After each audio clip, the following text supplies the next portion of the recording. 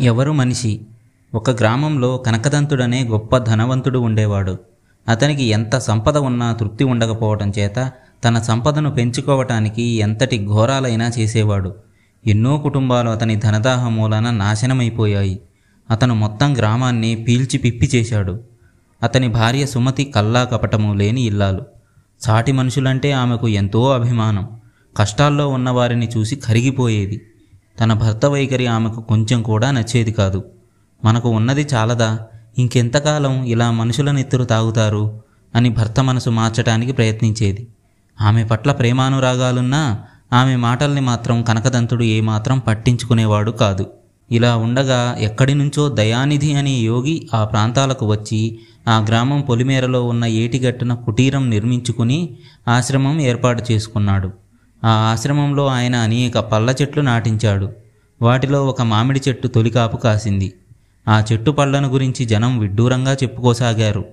దానికి కారణమేమంటే ఆ చెట్టు కిందకు పోయి దాని పండు కోసి తిన్నవాడు తన స్వభావానికి తగిన విధంగా ఏదో ఒక జంతువుగా మారిపోతాడు. చెట్టు కింది నుంచి యువతలకి రాగానే మళ్ళీ మామూలు మనిషి అవుతాడు. అనేక మందికి ఇలా జరగడం ప్రజలు కళ్ళారా చూశారు.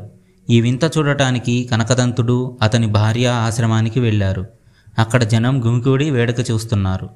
అందరూ చూస్తుండగానే ఒక వయసు మళ్ళిన వీర యోధుడు ఒకప్పుడు సైనికుడుగా అనేక యుద్ధాలలో పాల్గొన్నవాడు చెట్టు కిందకి వెళ్ళి పండు తిని పెద్ద పులిగా మారి కాండ్రుమంటూ జనం మీదికి దూకి వెంటనే మామూలు మనిషిగా మారిపోయాడు. అదేవిధంగా ఆ గ్రామానికి చెందిన వీధిపడి పంతులు గంగిగోవుగా మారిపోయాడు. తన శత్రువుల పంట కుప్పలకు నిప్పు పెట్టిన వాడొకడు కోడెతాచుగా మారి బుసలు కొట్టాడు.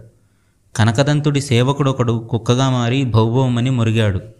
అడ్డమైన వాళ్ళకు మెట్ట వేదాంతం బోధించేవాడు ఒకడు గాడిదగా మారి ఓండ్ర పెట్టాడు.